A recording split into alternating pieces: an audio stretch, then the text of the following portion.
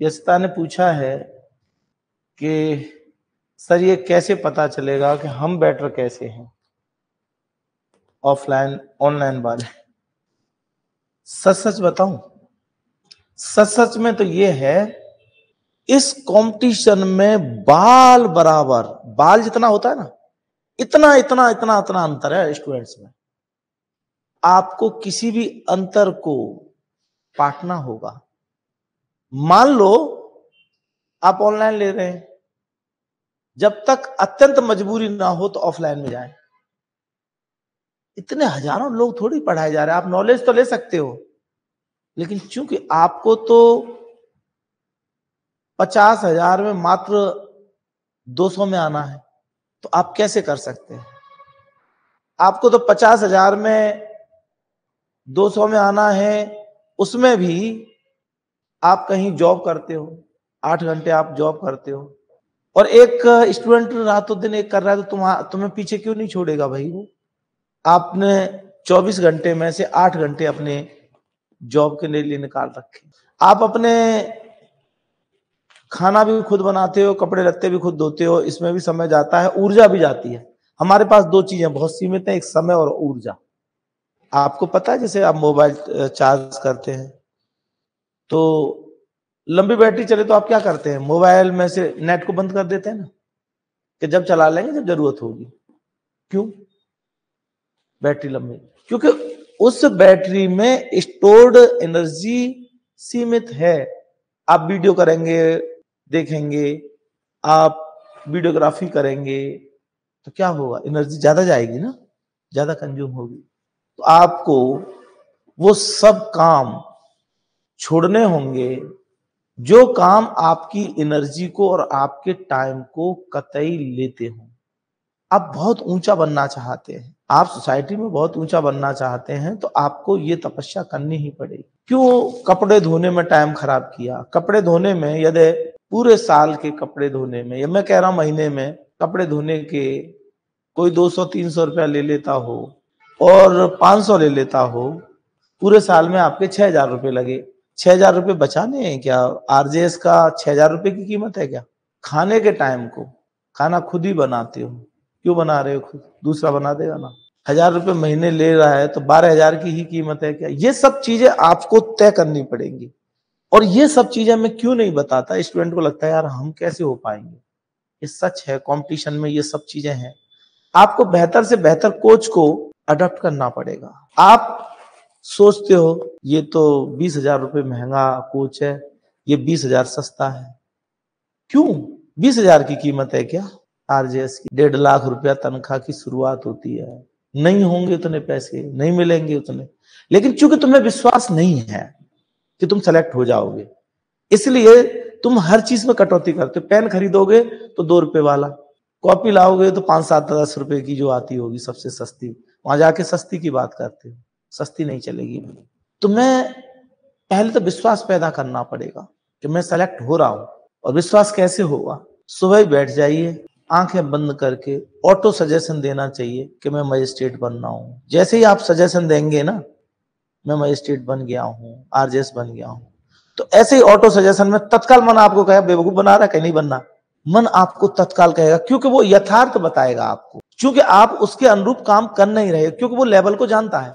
जैसे auto suggestion शुरू होंगे, आपके काम बढ़ते चले जाएँगे। नहीं यार, मैं ये टाइम वेस्ट नहीं कर सकता। मैं ये नहीं कर सकता। फिर ऑटो सजेशन से आपका अपने आप उस प्रक्रिया के हो जाएँगे। नहीं यार, मेरे को तो होगी ये कोचिंग सस्ती, मैं नहीं जा रहा उसमें होगी ये कॉपी सस्ती, नहीं लेनी, मेरे को बेहतर लेना है। मुझे, मैं बन ही जाऊँगा। जब ऑटो सजेशन होगा तो फिर आप ये समझौतावादी चीज़ें है ना उन्हें त्यागना शुरू करेंगे। कोई बात नहीं, मैं कर्जा ले लूँगा। कर्जा चुका दूँगा, मेरे को पूरा विश्वास है कि मैं सेलेक्ट हो जाऊँगा। जिस दिन तुम्हारा मन आपसे विश्वास में भर जाएगा ना लबालब, तब आप सेलेक्ट हो रहे हो। तब आप उसके अनुरूप वर्क कर रहे हो। कोई रोक नहीं, कोई रुकावट नहीं है। कई लड़कियाँ आती हैं मैरिड हैं, वो कहती हैं, सर, हमारी समस्याएँ हमारे हस्बैंड ये, वो। इनका कोई इलाज नहीं है मेरे पास। मैं उनके लिए कुछ कर नहीं सकता। उनकी समस्याओं का समाधान नहीं है मेरे पास। क्योंकि मैं तो समाधान इतना ही कर सकता हूँ एविडेंस बढ़िया से बढ़िया करा के उस लेवल पर ला सकता हूँ। आपकी पर्टिकुलर समस्याएँ तो आपको ही सॉल्व करनी पड़ेंगी। मैं कह भी देता हूँ, ऐसा कर लो, वैसा कर लो। लेकिन वो जानती है उनकी परिस्थितियों के साथ। तो ये खुद समाधान ढूँढने पड़ेंगे। तो यस्ता असली बात यह है वैसे हम ऑनलाइन में देते हैं। ऑनलाइन चूँकि ऑनलाइन दुनिया भर के लोग चला रहे हैं, हम भी चला रहे हैं। ऑनलाइन में बहुत सारे बच्चे जुड़े हुए हैं। मना तो किसी से है नहीं, लेकिन जो सिलेक्शन वाला स्टूडेंट है ना, वो ऑनलाइन से सिलेक्ट नहीं होगा। क्यों? क्योंकि आवश्यकता ये है कि रोज टेस्ट हो रहा है जीडी वो डीटीपी हो रही है, ये हो रहा है क्वेश्चन पूछ रहे हैं। और आप, जो माहौल आपको यहाँ क्लास में है आप टीचर के आई कांटेक्ट में हैं। हो नहीं सकता कि आप जाके यहाँ सो जाए। चलो थोड़ी देर मोबाइल इधर रख लो, लेट के पढ़ते हैं। सुनते सुनते हमें समझ में आता रहेगा। कुछ नहीं समझ में आ रहा, आपको पता ही नहीं चलेगा कब। थोड़ी देर बाद जब क्लास बंद होगी, जब आवाज़ बंद हो जाएगी मोबाइल की, तब आप सोचोगे। क्या आपने, ये तो ऑनलाइन भी ले रहे हो तो आपको करना क्या चाहिए था? आपको एक लैपटॉप खरीदना चाहिए था। लैपटॉप पे आपका मेज कुर्सी पे, लैपटॉप, चेयर पे वहीं बैठ के पढ़ना चाहिए था। घर में क्लासरूम बनाना चाहिए था। आप लैप, मोबाइल से पढ़ रहे हो और आप सोचते हो कि आप सेलेक्ट हो जाएँगे। वो खर्चा आपको वहाँ करना पड़ेगा लैपटॉप में। नहीं, आपकी दूसरी एक समस्या आती है, यहाँ तो आप कर सकते हो। अब कैसे कंटिन्यूएशन में घंटों घंटों घंटों घंटों लैपटॉप के सामने किसी के टीचर की शकल देखे, देख सकते हो? तो कंपटीशन नहीं होता। ठीक है, विकल्प आ गया है, वैज्ञानिक चीज़ों का उपयोग होना चाहिए। जिस दिन नहीं है हमारी कोई ऐसी स्थिति है, चलो आज हम ऑनलाइन कर लेते हैं। कभी कभी का ठीक रहता है, लेकिन प्रतिदिन नहीं। आपको ये समझना होगा कि ये सरस्वती मंदिर है। जहाँ मंदिर में रोज जाना है। जब तक जाना है, कब तक जाना है? कोर्स पूरा होने तक। जैसे यहाँ भी एक चला रखा है कि भाई वन ईयर प्रोग्राम। एक प्रोग्राम चला है भाई, जब तक आपका सिलेक्शन नहीं हो, तब तक। क्योंकि आए सिलेक्शन के लिए हो ना, मंदिर में तब तक जाना ही है, जब तक आपको फल नहीं मिल जाए। आपने कोर्स पूरा किया और चले गए, अब होगा क्या? थोड़े दिन में फिर भूल जाओगे उस कोर्स को। फिर कहोगे, यार, चलो, कहीं दूसरी जगह देखते हैं। कहीं का नहीं, बिल्कुल वही चीज़ हो जाएगी। उसे कहानी सुनाते हैं कि एक आदमी यहाँ बीस फुट गड्ढा खोदता है, यहाँ पानी नहीं निकलता, फिर वो दूसरे जगह तीस फुट खोदता है, यहाँ भी पानी नहीं निकलता चौथी जगह खोदता है। ऐसे करके पूरे खेत को बर्बाद कर देता है, पर उसका पानी नहीं निकलता। जो पानी सत्तर अस्सी फुट पे ही था, दो सौ फुट खोद चुका। ऐसे स्टूडेंट भटकते रहते हैं विभिन्न स्थानों पर, विभिन्न कोचिंग इंस्टीट्यूशन पर। उन्हें कहीं कुछ नहीं मिलता। ऐसा भी करते हैं। कभी ये सब्जेक्ट पढ़ लिया, थोड़ी देर ये पढ़ लिया, वो सबसे बुरी स्थिति है। एक कोई सब्जेक्ट पढ़ रहे हो ना? गौर से गौर से, बस उसी में डुबा दो। पूरे दिन उसी में डुबा दो। कभी वो पढ़ लिया हाँ पढ़ चुके हो तो रिवाइज कर सकते हो। लेकिन जब कोई सब्जेक्ट पढ़ रहे हो ना, एक ही पढ़ो। दो सब्जेक्ट एक सेमल्टेनियस पढ़ने का कोई मतलब नहीं रहता। अब जैसे मैं तीन तीन घंटे चार चार घंटे तक, अब तो खैर मैंने कम कर दिया, पहले मैं पाँच घंटे क्लास लेता था, जिसमें कोई पाँच सात मिनट का एक ब्रेक लेकिन सेम सब्जेक्ट को ही कराता था। तो आप सोचोगे पाँच घंटे सेम सब्जेक्ट ये जितने सारे फ़ोटो लग रहे हैं ना ये सब ऐसे ही लगी। ऐसे ही स्टूडेंट थे। कोच की बात को आपको अच्छा रस मानना ही पड़ेगा। कोच में और आपके मेंटल लेवल में ज़मीन आसमान का अंतर है, आप कहीं मैच नहीं करते। कहीं सेल्फ स्टडी नहीं होती है। आपको कोच को फॉलो करना पड़ेगा। कोच आपको एक व्यक्ति है जो एक्सपर्ट है, अपने समय में कंटिन्यू बहुत लंबे समय में वही काम कर रहा है। उसका साथ है आपके पास। वो जैसे जैसे बताए, वैसे वैसे चलो। वो आपसे ऊँची जगह पर खड़ा है। उसे थोड़ी आपसे ज़्यादा जगह दूरी तक दिखाई दे रहा है। आपको थोड़ी दूर का दिखाई दे रहा है। वो उस पथ को वहाँ तक जानता है।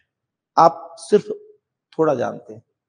अंतर सिर्फ़ ये है, मैं पोडियम पर यहाँ खड़ा हूँ। आप नीचे खड़े तो ऊंचाई थोड़ी सी ज़्यादा है। ज़्यादा होने का कारण है, एक लंबा समय है ये। तो उस वजह से तो उसको फॉलो करना चाहिए। आप देखते नहीं खेल खेल क्या चीज़ है? यहाँ तो खैर बहुत सारी चीज़ें हैं। इनमें लोग सेल्फ स्टडी की सोचते हैं। यहाँ तो सैकड़ों चीज़ें हैं। जैसे कुश्ती हो गई, दौड़ना हो गया, ये ये तो खेल है। एक ही तरह की चीज़ का रिपीटेशन है। एक ही तरह की चीज़ का सिर्फ़ और सिर्फ़ रिपीटेशन है। यहाँ एक ही चीज़ की तरह की रिपीटेशन नहीं, यहाँ चीज़ें हज़ारों हैं। यहाँ तो बिना कोच के काम ही नहीं चल सकता। वहाँ कुश्ती वाले कोच को दे दे के आ रहे चाचा करोड़। वो कोच क्या बता रहा है? ऐसे लड़ ऐसे लड़ ऐसे लड़। वो मुझसे पाँच सात चीज़ों को ही रिपीट कराता रहता है। अभिनव बिंद्रा का मैंने सुना था बोले, इंडिया में नहीं मिला। कि इंडिया में उस लेवल का नहीं है। इसलिए मुझे यूरोपियन कंट्रीज़ के लोग इतने ज़्यादा डिवोटेड हैं उसके प्रति। वो दसियों लोगों को, बीसियों लोगों को नहीं सिखाते, वो सिखा रहे होते हैं उन कुछ लोगों को। तो उसके लिए मैं वहाँ गया।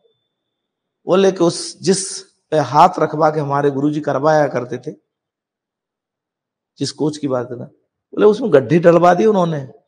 बोले, जाम हो गई उंगली और ये सिर्फ़ एक ही काम तो करना था। और इतना मेडिटेशन कराते थे, जबकि मेडिटेशन इंडिया की चीज़ है। क्योंकि आदमी वो बताते हैं, मैं उनका इंटरव्यू सुनना था, कि श्वास तीव्रता से ही गोली ऊपर नीचे हो जाएगी। हल्की सी श्वास से। तो पहले श्वास साधनी है तो श्वास को साधना बताते हैं, तब जाके गोली सही जगह पर लगती है।